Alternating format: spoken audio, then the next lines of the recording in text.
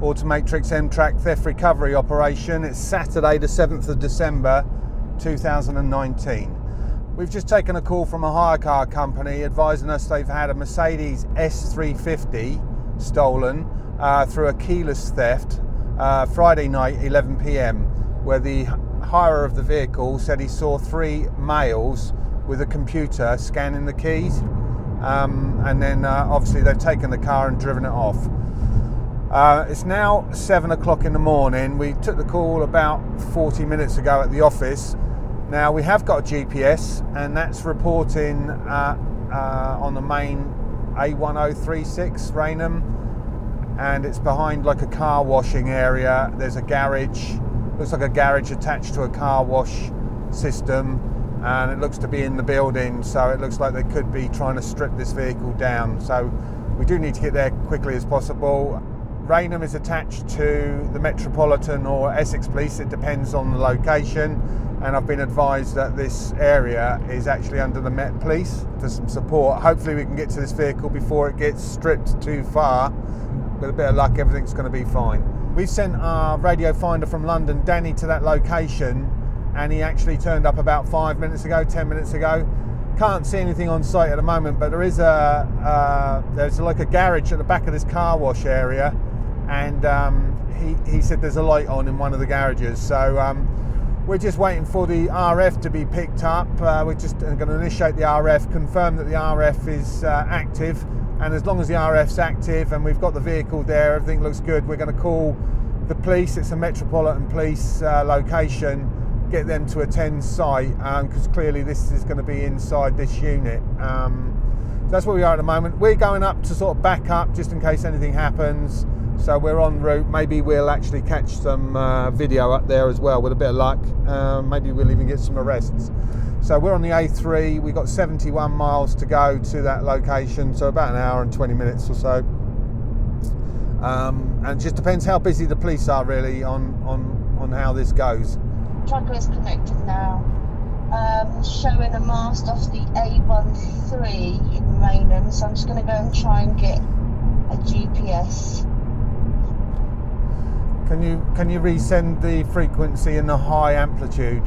Okay, I've spoken to Danny on site here at Rainham. Um, he said he can see a light on in uh, one of these garages, and um, at the car wash, the car wash people have started to turn up on site. So uh, I've checked that he's out of the way, uh, and he is. So I've we've got the RF now beacon confirmed as well at the system. So that means we can now call the Met Police and try and get them there as soon as possible um, before this car is taken a bit in this garage.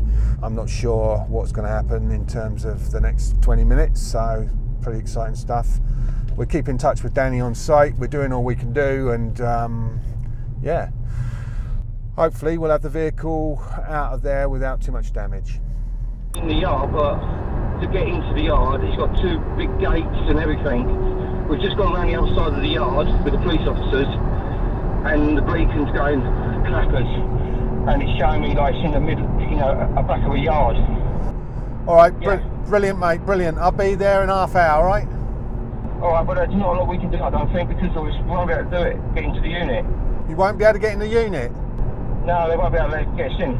The uh, police officer saying that we need a warrant uh, to get in, to get to the back of the unit. I mean, if we could get into the scaffolding yard, and look over, that would be ideal. But I, don't, I think the scaffolding yard won't be here today. You can hear the beacon, listen now. We're walking round. Stay there. Yeah, but normally, normally the beacon is enough for them to. They can ring their sergeant, yeah, and yeah. then and they what if he rings his sergeant and says, "Look, we've got the guy on site, we've got the RF beacon, you know, we've got to go. Cars suspected being stripped at the moment. Yeah. If, if we wait another five hours, four out, three hours, right. could could be the cars all in fucking bits and the, and the people have scarpered. So what? You ran the back of that silver light unit? Yeah. Yeah. Because the GPS was coming from inside that unit. There's five buildings at the front, and there's five buildings behind. The officer's just telling me. So we've got a bit of a problem. which one he's seeing at the moment. Yeah, So well, what's your what's your ETA here? uh, 25 minutes. 25 minutes. Okay. Right. He just said about getting the warrants to get into the building. Well, he, he can, he can instigate that, of course he can straight away, but it may it may be that he gets permission from his sergeant to go in just on the basis Right. that we've confirmed it's definitely in garage number three or something. We can do All that. right, we, well, I'll tell you, have a quick word with him. Yeah, yeah. next to Yeah, yeah, yeah.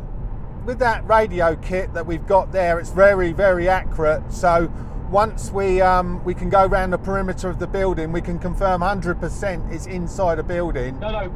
Yeah. Yeah, no, we've, um, we've we've done a complete walk of the uh, only available areas around the building we can go to. We've, we're at the front now, and we've gone down the right hand side to an adjoining unit. Yeah. Um, we've gone as far as we can go, and I'm not denying that the um, the strength of the signal. I can hear it. Yeah. The only issue we've got, we've got five different separate units where we're getting a signal, and then there is a left-hand huge gate, and um, in the back of it, there is three companies with different outhouses and buildings where this vehicle can be, and there's no possible way to get down there. We would we wouldn't get a warrant to get through the first gate, and then we still don't know where this vehicle may be because there's about potentially six different warehouses that we can't get to where it could be. What we should be able to do is with that, uh, we can walk to each door, and it'll, it'll it'll stop bleeping. You know, it'll only bleep at the right door, so we can turn the turn the instrument down, and we can just adjust it so we can tell you it's behind this door. Yeah. Right, okay.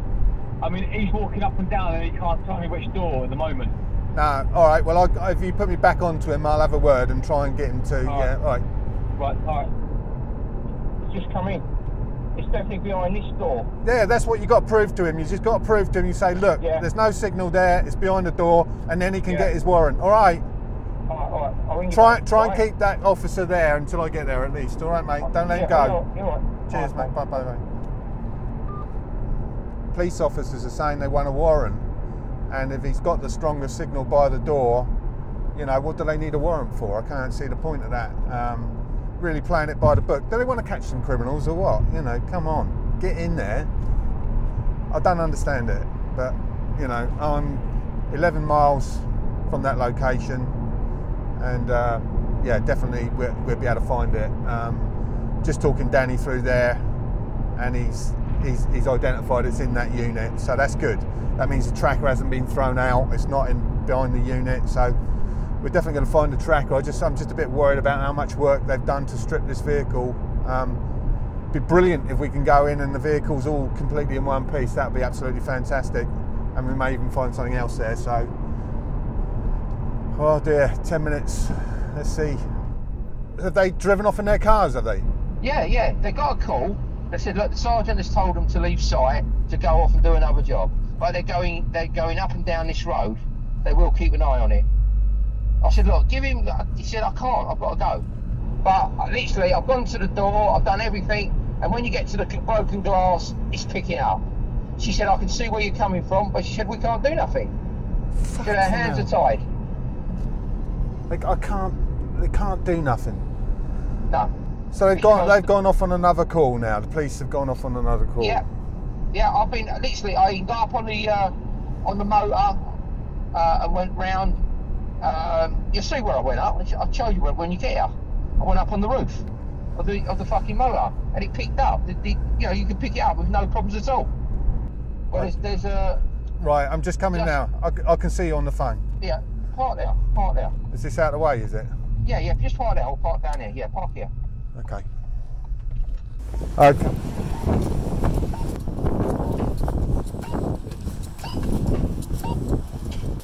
When I do that, I've been on the roof. I actually jumped on the roof. We'll go back down to that door again. We'll just see. You've left it on the current setting, Yeah, yeah? I ain't touched it.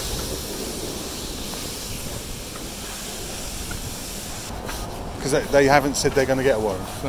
No, they just said we'll keep an eye on it. Keep them on the place. So the police have been here. Um, Danny was here, and he's shown them that the signal's coming from inside this building. Three garages here, four, five, six, and this big metal fence here. Um, and that has got a lock on it, I believe. Yeah, there's a big lock on it there. Through here, there's there's obviously a couple of shipping containers uh, and some other stuff around the back, and another fence. So, and that's got another lock on it. So, we've got every man and his uncle trying to put pressure on the Met Police, but obviously they've been here once and uh, left. So, um, we're just trying to use our influence to get get back again. Uh, okay, so uh, we're just over the road now. This is the car wash area, and um, there's five units there. You can see the roller doors, and the one on the left-hand side there, underneath the silver of Silver Line, that's coming up with a, the strongest RF signal around the back of that building. We've been in Unit Two, which is the one with the roller door up underneath the uh, line signage, um, and we're now got the strongest signal around the back of there. And there's a side door; you can't quite see it from here. You know, all sorts of vehicles around here, but you know there are some legitimate businesses here. When I got to site, the police had left. Um, the reason they left, their sergeant had deployed them to some other call um, as the they, they weren't sure which of the buildings out the five units here the, the, the tracker RF signal was emanating from. I asked them to wait a couple of minutes and I would have confirmed Danny was virtually there with it anyway, but they left. So what's happened now is I've managed to go into unit two because they've opened it up. Uh, chaps let us in there, which is great, and we've we've checked with the RF in unit two. We didn't film that, but basically at the back of unit two, we've got the strongest RF signal, um, and we've also been in unit five, which is right on the end, and we've ruled that out. So we've got unit one, uh, unit three, and unit four, um, and from what we can what we can see from the RF signal and also what um, Unit 2 uh, chap in Unit 2 saying is that Unit 1, which has got the side access, uh, which we've seen on the video, is uh, has got access around the back of of these units, and we believe this car is around the back of Unit 1 stroke Unit 2, which is all area uh, under the control of Unit 1, whoever's in Unit 1. So um, we've pulled a few more calls in and we've managed to get the hire company back on board as well um, put some pressure on the police and the police the police are going to come back now because we've told them it's unit one or around the back of unit one. So we've clearly identified they can use um, section 17 under PACE to actually uh, go in there without a warrant. That's what we're going to hope for um, if the police uh, are up to, up for it. So we're now waiting for the police for a second time um, no vehicles come out of that area. We're, we're checking to make sure this black S350 is not not coming out. We've still got the signal here, so yeah, waiting for the police. Right, looks like the police are turning up now. Right, so we're going with the police now. I'll just show you the layout.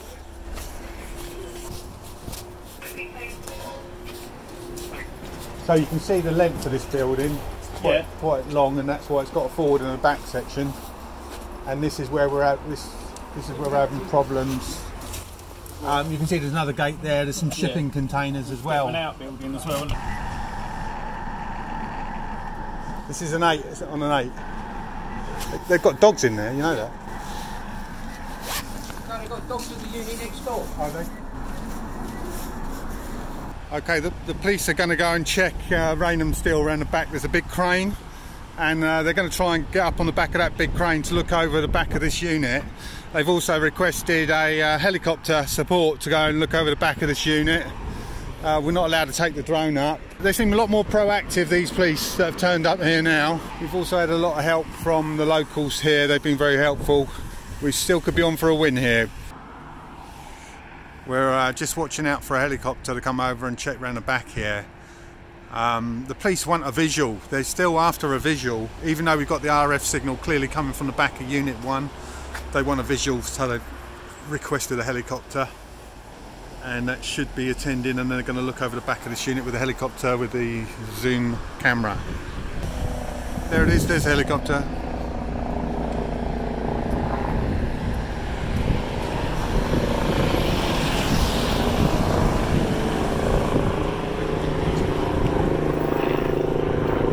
So we're starting to look at this.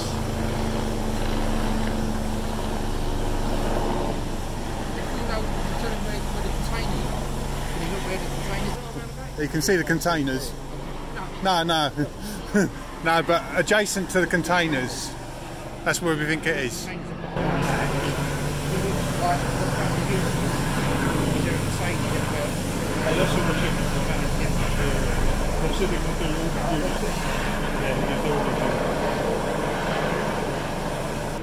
out the open that we can see. We've two or three units either side. Um, we've just developed a fault on the aircraft, I'm afraid, so we're just going to have to go and return to base to get it sorted. Uh, it's something that we can't ignore. Um, if we're able to, we'll come back uh, and have a really good look around later, but uh, unfortunately, uh, the Scotland Goods Department Got a fault on the vehicle, on the aircraft. Yeah, all safe. Thank you. Couldn't see anything obvious. No. Yeah, they've sent the, hel- the helicopter had to go away. at an operational fault, but it's come back. Um, we have got two shipping containers in the back, so if they if they can't see anything in that yard over this fence, I mean it's good that they've sent the copter, but we just need. You know, you'd think that would be more hassle than a warrant, wouldn't it? Are the police, are the police coming? Yeah, they're on their way round. They're just looking at another um, Mercedes Yeah. uh, around now, All right. and well, then we're getting a warrant as well to get into that building at the back. thanks, Dan. Cheers, All right, mate. No problem. Stop. What's your uh, company name?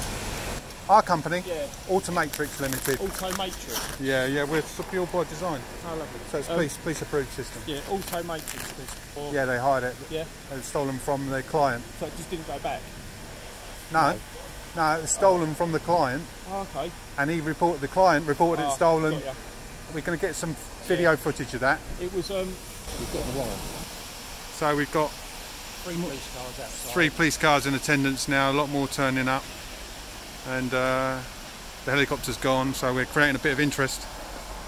So we're still waiting for the warrant. It's coming up to three o'clock. That's three hours we've been waiting for this warrant. I reckon they haven't been able to get hold of the magistrate, although I thought they had been able to get hold of the magistrate. So two police cars in attendance still, still waiting for the warrant. Let's hope they get it before it gets dark. They're just going to change shift a couple of the drivers. Okay, so it's 7:30 at night now. I'm travelling back from Rainham, and uh, well, where do I start really? Um, police were waiting for the warrant, came back and said, sorry, we can't get the warrant. What does that mean? We can't get the car back. So, you know, we got the signal in the corner of the yard there. We know exactly where the car's hidden. They said they can't, they can't get a warrant. Uh, their reasoning for not being able to get a warrant was that there was intelligence on that area that was classified or above our knowledge, and um, that meant they couldn't issue a warrant. Now, that what that can mean is that maybe there's a police investigation already underway, and it involves that yard where we were, where the stolen car was taken to. And if the police go in, they could break open a case that's already been with the police for a number of months or years that they're trying to trying to solve. And if the local police go in on a, on a stolen car, they could upset all the all the hard work that's been done by the police officers. So um, that's what we were told that there's there's an uh, intel on the property that forbids the warrant um, allowing us to go in. So basically, I said to them, "Where where does that leave us now?" And they said, "Well, maybe we'll have uh, we will be able to go as long as we've got more resource." Don't know what that means. There was four officers there, but they wanted more officers than four officers. So, so if the motion alarm goes off, we'll be able to um, inform the police that the motion alarm's going off. That could mean if it stays in the same location, that could mean they're chopping the car up. And if they send police to that location, jump over one of the fences, avoid the guard dog, you know, they take safety measures, whatever. Uh, go in with five, six, seven officers, maybe an armed response team. They can get some arrest. We could have hung around, but I'm going to travel back to Southampton. But Dan, Danny can get there, or another finder can get there within 45 minutes or an hour. We probably don't need to the RF. We know where it is, and we can guide them over the phone. So, um, although we'd like to be there for the big reveal, we don't think that's going to happen. So, it's going to be a situation where they either chop this car up and we have to sacrifice it for the sake of a police operation that's more important than a £70,000 car. And our customer hopefully will get compensated some way for that, um, disappointing as it is. Obviously, been on the phone to the customer and they're so, so so aggrieved by all of this really I don't know what the right word is so I can't you know say they're not angry, frustrated about what's happened today. 12 hours. We didn't have to wait long for the police, but the, the police left. The first lot of police left, you know, saying we can't do nothing. And then we managed to get them back. When I arrived at the site, we gave, you know, made a few more phone calls, got them back, and they seemed a lot more helpful actually. Those second lot of officers, and they did actually tell us that the first lot of officers were out of order for leaving in the first place. The second officers were on site for three, four hours, waiting for a magistrate to sign a warrant, and then the warrant was refused. Never happened before, 12 years. Never had a situation where we've got the car signal coming out of a building and the police haven't gone and got it. You know, well, I don't know what to say. It's just, it must be, must be that there's a, a more important police operation which they don't want to spoil for the sake of, you know, just getting this one car back for our customer. But that doesn't help our customer. Anyway, so this this is the video. Um, we haven't got the car at this point. Um, we're still hopeful that maybe we, we get the car. Who knows? I'm hoping that they think it's a hot potato. They just want to get a shot of it, park it up somewhere, and we get the car back tonight. You know, so there may be a part two to this video, or it may be, you know, that we don't do a post up a part two. But as far as we're concerned, we found the car. Customers happy with us. Cars in that building, 100% guaranteed. Police, pathetic, really, just useless. Just don't know what to say. Okay, so just an update on what happened next in this case. Uh, we continued to work with our client to request police to attend site on the Sunday, but without success, no police turned up on the Sunday. So early morning uh, on the Monday, Danny returned to the site with two representatives of the clients to gain access to the rear of the main building.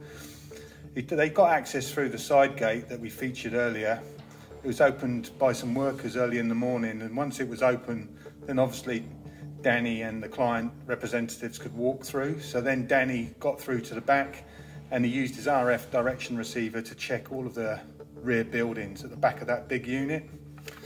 Uh, he could then accurately pinpoint exactly which unit the uh, signal was emanating from the Automatrics M-Track and it pointed towards a metal roller door. Police are contacted with an update and asked to attend site at that point and after an hour or two the police did eventually turn up and uh, got in contact with the landlord of that actual unit and when he got in contact with the landlord the landlord agreed to give them access and to force an opening on that building. Hi Rich, we're with the police at the moment. The police turned up and we're literally going to try and get into this unit here with the steel door.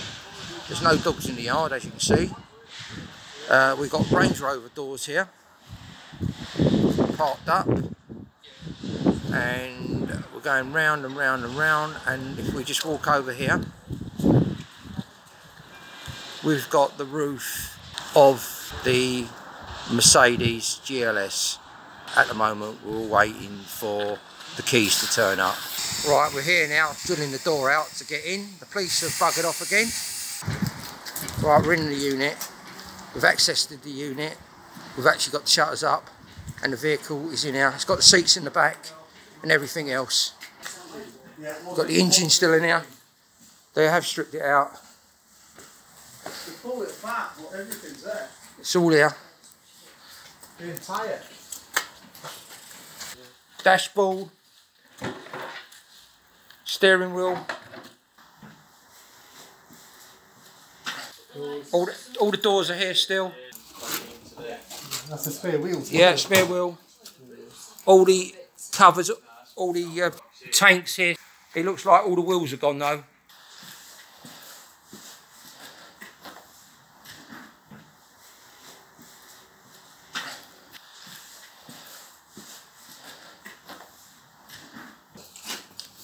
We still got the engine still. Something, I suppose. Covered? No, you have to now because it's got to be Rendix. Some Bushwick, and this just needs tapping in. It'll be oh, sound. It sound.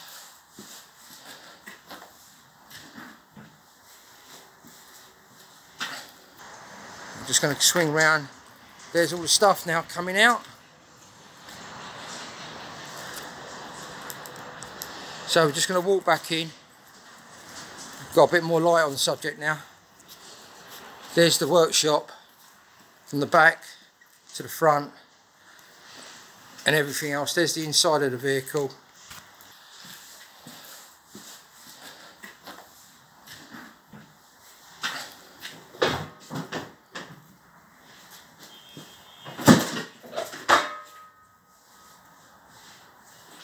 Right, the police have just left me saying they don't want the vehicle, they don't do no Sendix on it, and they've left me here on my own. They said just get the uh, recovery truck to take it away with no support from the police officers at all. They just couldn't be bothered. The car had clearly been dismantled. Most of the bolt-on bits were removed, but they were all together. They all the parts were there except for four wheels, which were missing from that actual garage unit. Uh, the police rejected the opportunity of a forensic examination and uh, then they left site, uh, which was we weren't expecting. We thought they'd stay there all the time.